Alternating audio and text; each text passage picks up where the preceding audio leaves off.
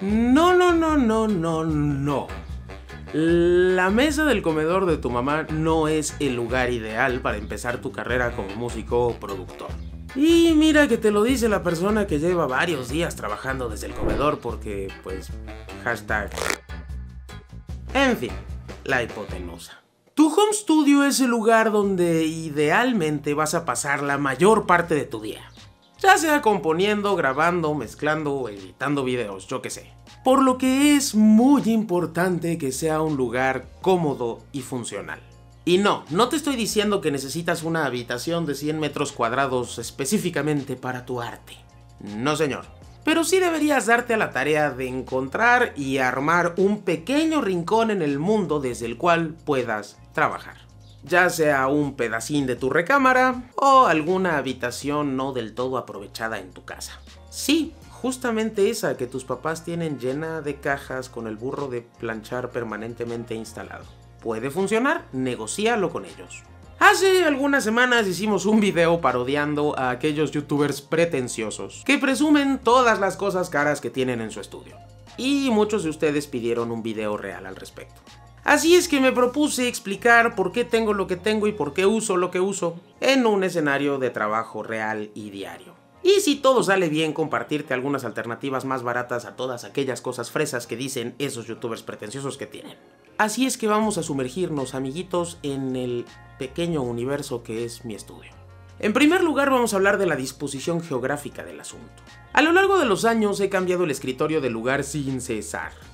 Ya lo tuve en la ventana, arrinconado, de frente a la puerta como abogado adinerado, hasta que dejé de hacerme la interesante y lo puse en el lugar más lógico en términos de acústica, sobre una de las paredes cortas de la habitación. Esto es lo más recomendado por ingenieros acústicos para controlar las reflexiones sonoras de manera eficiente con modificadores. Dicho esto, vamos a hablar solo un poquito, porque ya hablamos mucho, del escritorio en sí. Como ya se dijo en varios videos, este era el escritorio de mi abuelo, aunque no se veía así hasta hace como 8 o 10 meses. Era muy eficiente en términos de tamaño, pero bastante anticuado y francamente medio feo. Así es que aferrándome al valor sentimental y a la ergonomía, mis amigos los restauradores lo remodelaron y quedó esta cosa hermosa que tengo enfrente. Hicieron un segundo piso que cuadra a la perfección con la forma irregular del escritorio original y agregaron un espacio para la interfaz y el controlador MIDI y un par de cajones en los que hay cables, cargadores y un montón de cosas que quizás debería escombrar. Pero antes de seguir, déjame que te cuente rapidísimo un poquitín de nuestro patrocinador de hoy, Skillshare. Skillshare es una comunidad de aprendizaje en línea con miles de clases para gente como tú, amada y sensual criatura, y como yo, que buscamos encontrar inspiración y dar el siguiente paso en nuestro camino creativo. Ahora puedes aprender en nuestro idioma, ya que la plataforma está disponible en español, así como muchas nuevas clases de creadores latinos. Y si la que te interesa no lo está, no te preocupes, ya que cuentan con subtítulos para que no tengas que limitarte en tu elección. Esta clase, por ejemplo, está brutal. Producción musical con Logic Pro a cargo de Solo Ray. En ella explica todos los fundamentos de Logic Pro para que puedas empezar a producir en muy poco tiempo. Desde plantillas hasta cómo funcionan las capas, automatizaciones e incluso los parámetros óptimos de exportación. Lindo, lindo. Las primeras mil personas que hagan clic en el enlace en la descripción obtendrán una prueba gratuita de un mes de Skillshare.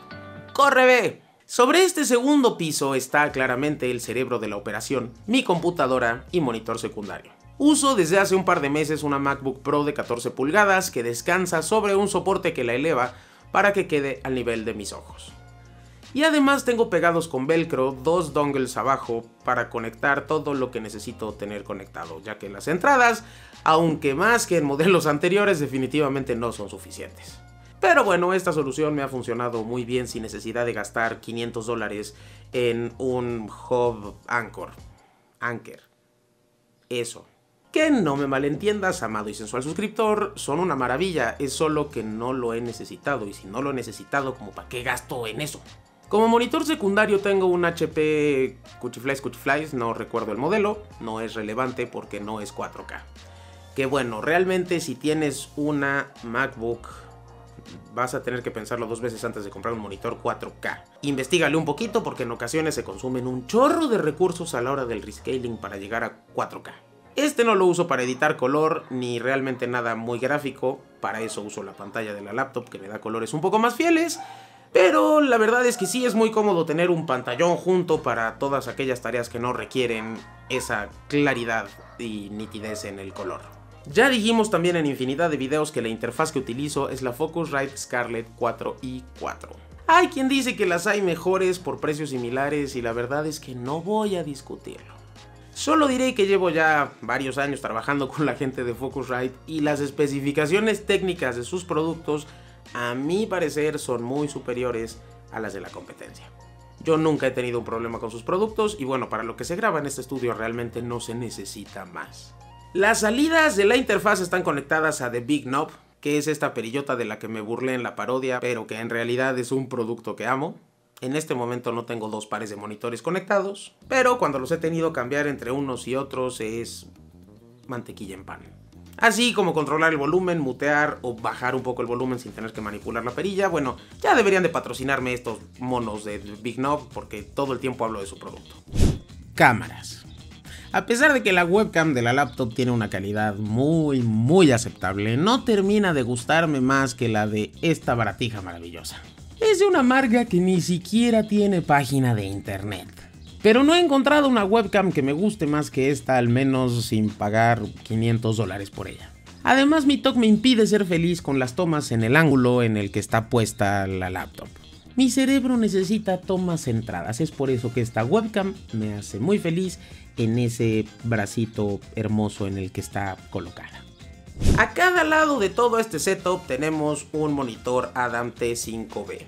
A veces uso estos, a veces uso los KRK, dependiendo de las necesidades de lo que esté haciendo en el momento. Estos Adam son muy claros en los medios y en los agudos, aunque les falta un poquito de graves. Y los KRK tienen mucho grave y suenan muy lindo, pero bueno, son un poco menos planos. Entonces, pues, pues, pues a veces unos y a veces otros. Y aquí abajo tengo un tapetito con varias cosas encima. Sí, sí creo que los desk mats son una belleza. Impiden que se raye tu escritorio y te dan más tracción, orden y además se ven lindos. Así es que sobre el tapetín tengo un pequeño combo Logitech, el MX Master 3 y el Master Keys, creo que así se llama. El teclado y el trackpad de la MacBook son una experiencia casi religiosa, es lo más cómodo que he usado en mi vida. Así es que si no los voy a tener disponibles porque pues ahorita está ahí arriba montadita en su lugar, sí necesito un teclado y un mouse que sean muy cómodos y no hay como estas cositas de Logitech para acercarse un poco a la experiencia que te da la MacBook. Sí es cierto que de vez en cuando hay como glitchecitos o pequeñas fallas, sobre todo en el mouse en la MacBook. Nunca jamás me pasó en la PC, pero bueno, también entiendo que Mac no puede ser perfecto y bueno, algo pasa, yo creo que falta alguna actualización de software, pero ni es frecuente ni es tan molesto. También tengo una basecilla magnética para el teléfono, no costó más de 25 dólares en Amazon. Y es mucho, mucho más práctico tener el teléfono puesto ahí que tenerlo aquí abajo estorbando y siendo una tentación para mis manos procrastinadoras. Y bueno, ya se habló sin fin de mi controlador MIDI, Arturia Minilab MK2. No vamos a seguir echándole flores a este productazo, puedes checar cualquiera de los otros videos que hay en el canal hablando de él si quieres conocer más, pero bueno, es mi controlador MIDI primario. El piano Casio que está aquí atrás es lo que uso cuando necesito más extensión, más octavas, más tamaño, pero rara vez sucede honestamente. Ese lo uso más para practicar, para tocar, para juguetear y este lo uso más para trabajar. Micrófonos. Tengo conectado mi micrófono primario, que es un Lazarus LZ22M a la interfaz. Ahí está, conectadito todo, todo el tiempo. Lo uso para todo, ya sean llamadas por Zoom, videoconferencias, grabación de voces en off, podcasts, todo. Lo tengo montado en un brazo articulado eh, de este tipo que funciona mediante resortes, pesas o magia negra, no lo sé. Muchos años usé este otro tipo de brazos que tienen perillitas y resortes y funcionan bien, pero la verdad es que este funciona mejor, es mucho más cómodo, es mucho más estético y pues sí es un poco más caro o mucho más caro. Sin embargo, no es que los otros sean malos. Es más, del otro lado tengo uno de los resortitos montados con un micrófono exactamente igual que el mío para cuando viene Ruth a grabar Procafeinando. Si no sabes qué es Procafeinando, ve al enlace que también está en la descripción para que vayas y nos veas todos los jueves. Y funciona perfectamente bien, solamente es que pues me gusta más el otro. También por ahí guardado en algún cajón hay un Audio Técnica T2020 que uso frecuentemente.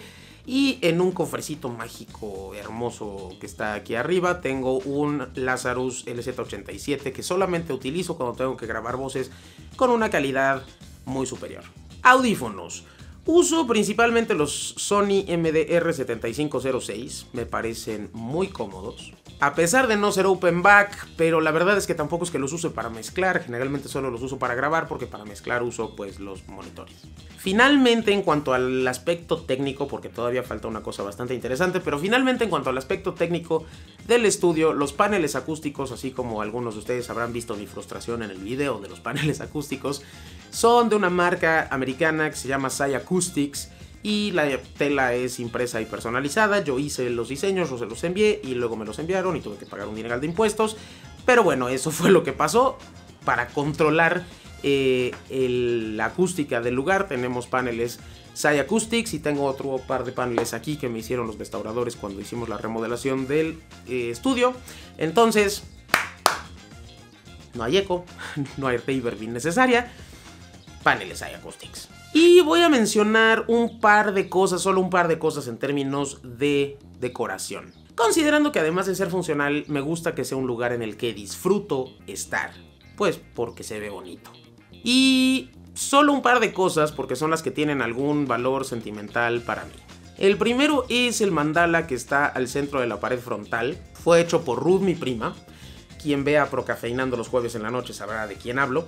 Lleva años haciendo este tipo de arte y hace cosas impresionantes. Te dejo sus redes sociales aquí abajo por si quieres ir a darte una vuelta a las redes de Aribo.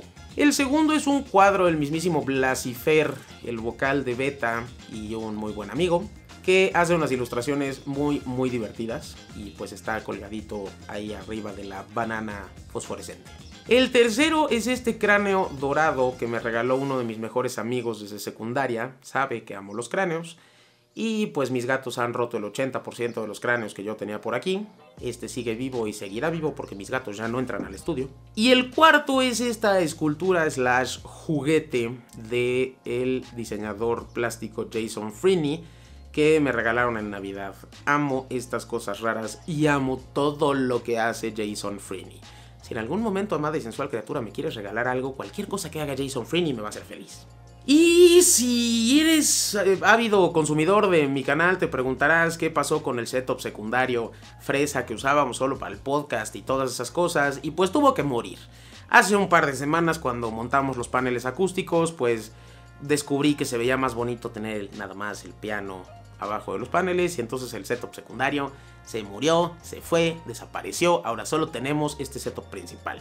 Pero bueno, ya te hablé muchísimo de los paneles y qué tal que tú no has visto el video de los paneles, así es que te invito a ver cómo me meto la enchilada de mi vida y la enojada de mi vida y no, no son la misma cosa, yendo a ver este video de aquí. Eso es todo por hoy, nos vemos, adiós, te amo, bye.